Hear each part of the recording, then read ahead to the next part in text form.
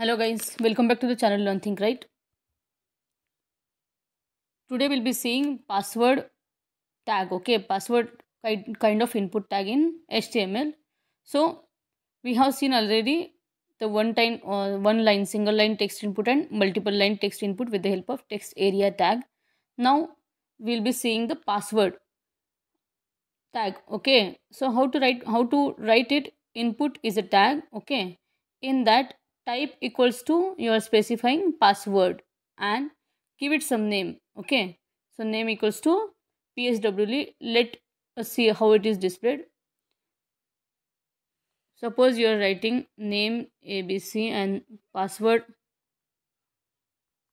okay? As you see in uh, wherever the sites you log in it is displayed in the form of dots. So this is the way of writing password tag in html hope you understood this one. Hope to see in upcoming videos. For that subscribe the channel. Thank you